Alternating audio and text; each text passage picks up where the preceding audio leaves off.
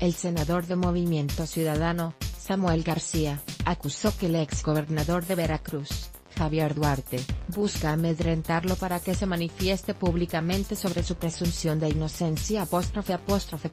El documento dirigido al senador, fue recibido en la oficialía de partes del Senado, y hace referencia a sus abogados y un domicilio para recibir respuesta.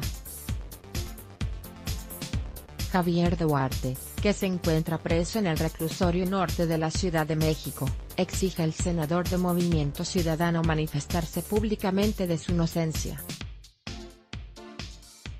Por su parte, el senador Samuel García señaló que la carta enviada no lo va a amedrentar, y señalar la presunción de inocencia no está en él, sino del juicio. Te puede interesar, Exigen diputados que PGR explique condena a Javier Duarte en primer lugar, yo sé que le molestó que lo traiga con una auditoría permanente con denuncias, y lo que más le molestó es que el Senado, por primera vez por unanimidad, votó enviarle a la Haya el caso, por eso no me voy a dejar amedrentar, reiteró.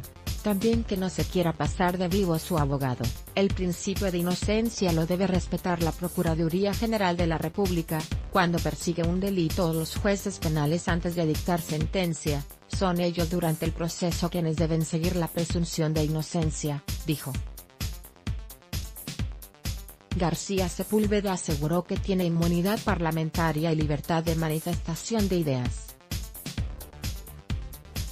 Agregó que no es la primera vez que buscan amedrentarlo ya que en Nuevo León ocurrió lo mismo cuando denunció las cuentas públicas de los exgobernadores Rodrigo Medina, Natividad González Parás y la exalcaldesa Margarita Arellanes. En el documento, Duarte señala que se vulneran y transgrede sus derechos fundamentales.